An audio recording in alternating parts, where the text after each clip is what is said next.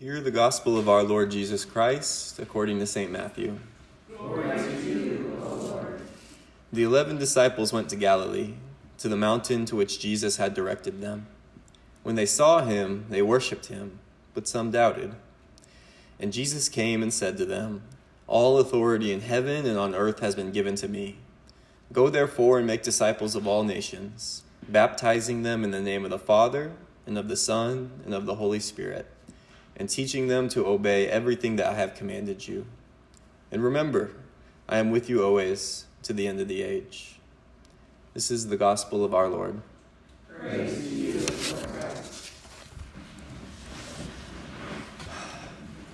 Happy Trinity Sunday, everyone. We're gathered here today in celebration of the ways that we have collectively come to know and experience God as triune Father, Son, Holy Spirit, Creator, Redeemer, Sustainer.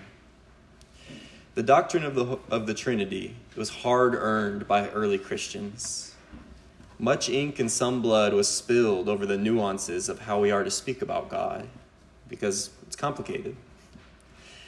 From the biblical witness, we get God as incomprehensible creator of the world, as a humble Palestinian Jewish rabbi, and as we heard last week, the Holy Spirit descending as tongues of fire upon the disciples animating and sustaining their faithfulness in much the same way that breath animates and sustains our bodies. Those are wildly different images. How do we make sense of them together? If you are one early Christian named Arius, you might say that Jesus was created by God and, as such, just a little bit lower than God. The problem arising from that would be that if I'm an opportunistic Roman emperor, it wouldn't be a far leap to say that I too am created by God and just a little bit lower than God. So, what can seem to us like weird ancient disputes had profound political implications for the lived realities of ancient Christians. I wonder do we generally have a sense that our confessions surrounding the Trinity have profound political implications? Now, to be sure, regardless of how the emperor narrated his relationship to God, he was still going to do dastardly deeds. Similarly, the present day church's confessions about the Trinity aren't going to cause the powers that be to have a change of heart. But we do believe that if we allow how we show up in the world to be changed, God works in that. So, how have we as the church shown up in the world? And how might a fresh engagement with God's Trinitarian nature help us become more who we're meant to be? It's a huge and complicated question to ask about the impact of the church in history. We could probably spend a lifetime talking about it and then some. So it may be helpful to narrow our scope.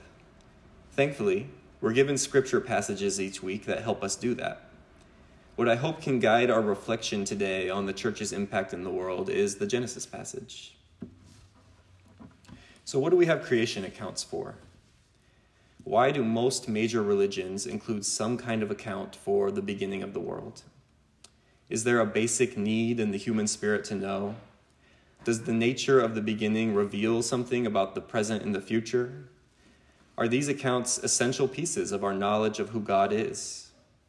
People of faith have, for generations, used creation accounts for all of these reasons and more. The gifts of these stories has led our spiritual predecessors into all kinds of beauty. Think of the Jewish belief narrated by Rabbi Abraham Heschel that Sabbath is a cathedral within time, instituted for human life and flourishing from the very beginning. The story of creation tells us that rest is built in and essential to our existence. Or think of St. Francis proclaiming that if you have people who will exclude any of God's creatures from the shelter of compassion and pity, you will have people who will deal likewise with their fellow people. His compassion for all creatures was rooted in a creation account wherein God deems all of creation very good. How do we account for our creation or sorry, how we account for our creation and the creation of the world around us matters deeply for how we deal with our neighbors, human and non human alike. But it's not an easy task to pull a clear, widely agreed upon set of rules or recommendations or values or norms from a creation account. Just as these stories have birthed beautiful Sabbath observances and greater kinship between human and non human neighbors, so also have they been used to justify all kinds of violence and exploitation. Many of our spiritual forebears read these creation accounts as license to violently export their cultural, religious, and economic ways of being to the majority of the world. They read the invitation to dominion, to fill and subdue the earth, as a divine mandate to conquer and Christianize foreign lands and foreign peoples. Our Matthew text corroborated this reading, offering further justification for attitudes and policies like kill the Indian, save the man, which accounts for why Illinois, named for the Illini people, has been swept over with European agricultural practices, a European economic system, and European people. I bring up how these passages have been used because it's not just ancient history. As people who look to a 2,000 year old collection of writings for connection with God, we of all people are equipped to see that history matters for our present realities. Not only are we able to draw incredible wisdom from the lives of those who went before us and laid the groundwork for the roads we travel, we also look back to discern what responsibilities we have as beneficiaries of histories that still haunt others. As we continue to discern what it means to follow Christ together in Greenville, Illinois in 2023, we have to keep even painful histories in mind. So, in recognition of how these creation accounts have been used for domination, exploitation, and the erasure of indigenous people and indigenous ways of being the world over, how might we read them more faithfully? This is where some engagement with the Trinity can guide us. I'm going to draw three lessons from the doctrine of the Trinity and let them inform our reading of the Genesis passage. The first lesson we can source from God's Trinitarian nature is this love reciprocates, it does not dominate. Say that with me. Love reciprocates, it does not dominate. Love reciprocates, it is given and received, equally engaged in by everybody involved. It is mutual. Now, it may not be immediately obvious why this is something we learn from God's triune nature. I'm going to read you a small quote from the Athanasian Creed. St. Athanasius is in a, mm, sorry, I'm to take a little drink. I think my mouth's getting dry.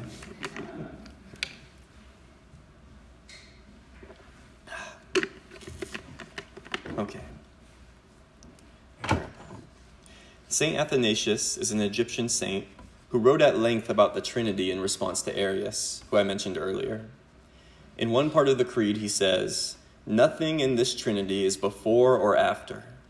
Nothing is greater or smaller. In their entirety, the three persons are co eternal and co equal with each other. Love, the very fiber of God's being, reciprocates. The persons of the Godhead, Father, Son, and Holy Spirit, are no greater or smaller than any of the others. They are equal, mutual. They give and receive in turn. And in such a relationship, where there are none greater or none smaller, there can be no domination, no subordinating of another's desires, needs, priorities, safety, or well being to another. Nothing in this Trinity is before or after the God of love is co equal within themselves. And because we, through Jesus, participate in the life of this co equal God of love, reciprocity and mutuality become the fiber of our existence in the world. As we share in the co equal life of God, we lay down domination as a possibility for how we can engage with the world around us. And that conviction makes a difference for how we read Genesis. When we hear God say, let humanity have dominion over the fish of the sea, and over the birds of the air, and over the cattle, and over all the wild animals of the earth, and over every creeping thing that creeps upon the earth. We can begin to sense that the dominion God is referring to is not the dominating ways of being that we see around us and sometimes participate in ourselves. Whatever this dominion is that God invites us into, we can be sure that it is a dominion of reciprocal love, of receiving as much as we give, of giving back in the places where we take. This realization raises a collective problem for us. Clara Sue Kidwell, Homer Noley, and George Tinker outline it well for us. In the book I'm drawing from, they are outlining the wisdom that we can draw from Native American theology, which is good for us to hear in establishing a relationship of reciprocity, of give and take, with faith communities outside of our own. So they say American technological and economic development cannot embody the, the Indian ethic of reciprocity. It is not enough to replant a few trees or to add nutrients to the soil. These are superficial acts to treat the negative symptoms of development. The value of reciprocity, which is a hallmark of Indian ceremonies, goes to the heart of issues of sustainability, which is maintaining a balance and tempering the negative effects of basic human survival techniques. There is no ceremony among any people for clear cutting an entire forest. End quote. As we seek to embody the truth that love reciprocates, it does not dominate, may we be mindful that this is a journey into God's nature that will inevitably lead us into questions about our collective existence. I don't say this to dismiss the value of examining our personal relationships for reciprocity. In fact, that's usually where transformation starts. I wholeheartedly encourage us to look at our personal relationships to our siblings, human and non human alike, are there places where we're taking more than we're giving? Where we're giving more than we're receiving? Beginning to heal the dynamics of domination in our immediate surroundings is good and sacred work, and it does ripple outward into the collective. And that line we walk between the personal and the collective brings us to the second lesson we can source from God's triune nature. We are not meant to do this alone. Can you say that with me? We are not meant to do this alone. When I speak about the personal work of examining the reciprocity and domination in our own lives, I don't mean for it to be individual work. In fact, how could it possibly be individual? Reciprocity and domination are relationships, they require more than one person. Whether we're looking at our personal, immediate relationships or the collective relationships in which we participate, as church, as a political party, as a nation, as a race, a gender, a particular sexuality. We aren't meant to do it alone. This lesson probably has a clearer connection to the Trinity than the last one. Oh, God is three, God isn't alone. Yes, it is that simple. And I want to refer back to the Athanasian Creed again. He says, We worship one God in Trinity and the Trinity in unity, neither blending their persons nor dividing their essence for the person of the Father is a distinct person, the person of the Son is another, and that of the Holy Spirit still another. But the divinity of the Father, Son, and Holy Spirit is one, their glory equal, their majesty co eternal. St. Athanasius' words reinforce what many of us likely already know viscerally God is a community. Rather than some distant deity who competes in the heavens for glory over and above other deities, God is a loving community into which we are invited through our createdness in the image of God and through the incarnation of Jesus. We get this in the creation story we're reading today when God says, Let us make humankind in our image, according to our likeness. We have been made in the image and likeness of a communal God, as evidenced by the plural pronouns that God uses for God's self in Genesis. So, what does that mean for us? At least one thing it means is that we image God into the world best when we're together. So, as we're examining our relationships for reciprocity and domination, who can we get together with to ask these important questions? One of the great challenges of being limited human beings with only limited knowledge of ourselves and our surroundings is that it isn't a simple task to identify where reciprocity and domination show up in our lives very often we learn dominating ways of being as normal, and they can feel like reciprocity if we're more on the receiving end than the giving end. So it's important as we're getting together for self and communal examination to hear from the people who end up giving or being taken from more than receiving or getting to give of what they want to give. Because all of our knowledge is incomplete. By ourselves, we're only ever working with a few pieces of the puzzle. And it's important that we don't close off seats at the table when we're assembling that puzzle together. Which brings me to the next lesson we can draw from God's triune nature. Do you remember the first two? Love reciprocates, it does not dominate. We are not meant to do this alone. And third, there are limits to our knowledge and control. Say it with me one more time. There are limits to our knowledge and control. I appreciate y'all going along with me on that. so I'm going to get the Athanasius quote out of the way early this time. He says, The Father is immeasurable, the Son is immeasurable, the Spirit is immeasurable. Now, my temptation here when I hear that God is immeasurable is to think about size. How vast God must be beyond measure. I think that understanding it in this way misses something important about God. It treats the persons of the Godhead like cardinal directions. Everything in that direction, as far as you can go, is the Creator. Everything in that direction, as far as you can go, is the Son. Everything in that direction, as far as you can go, is the Spirit. And depending on your theology, everything in that direction is the adversary. When I imagine God in this way, it becomes easy to imagine the task of relationship with God as a task of accumulation. In the face of God's infinite measurelessness, it is possible for me to become the person or a member of the group that knows the most, that has walked to the furthest down the path in any direction. And if I perceive that I know the most, that shapes how I engage with people I perceive as knowing less. I become susceptible to paternalism, condescension, and a desire to control others, sometimes under the guise of helping them when I imagine myself to have acquired more wisdom about God than another. And we've seen this in our history. What did Christian settlers do when they came to this land and encountered people who they felt had less knowledge of God? Kill the Indian, save the man.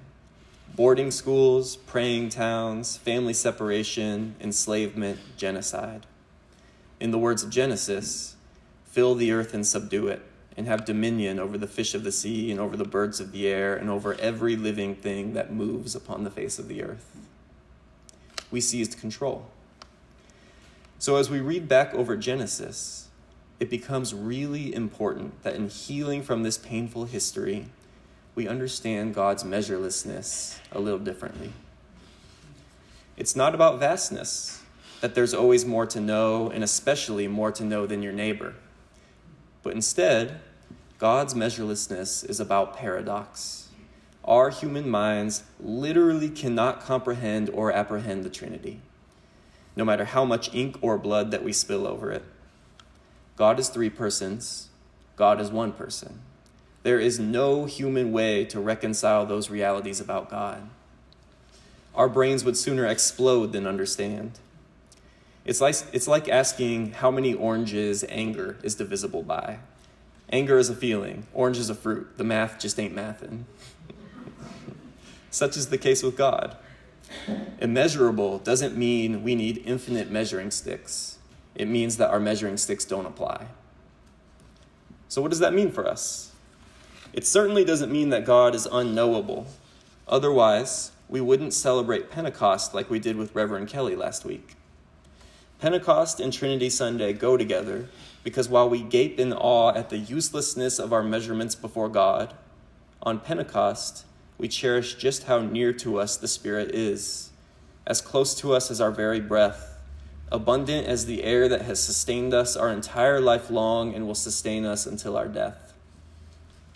What can we do in the wake of these two church holidays but lift up our hands in gratitude and humility? God is abundantly, generously present in the minutiae of our lives, and we may never fully grasp what that means for how we ought to live in the world. All of our striving is but plunging headfirst into dark, murky waters and being given the sense, despite our blindness, that we're not alone as we go. So, as we encounter sacred others, as the divine mystery unfolds before us in the lives of our human and non human siblings alike, may we cultivate a grateful humility together. one that allows us space for curiosity before the unknown, and trust that God meets us in the reciprocal spaces where we feel least in control. So that was a lot. In recap, love reciprocates, it does not dominate. We aren't meant to do this alone. There are limits to our knowledge and control. Amen and amen.